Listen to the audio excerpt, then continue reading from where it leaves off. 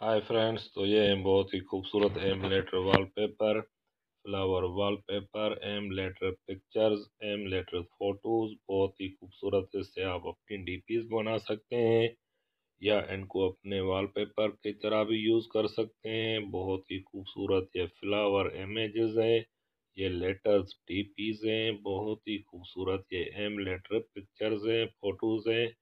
तो चलते हैं अपने एंड्रॉयड मोबाइल में और आपको दिखाते हैं कि किस तरह ये डाउनलोड करते हैं और किस तरह इनको यूज़ करते हैं।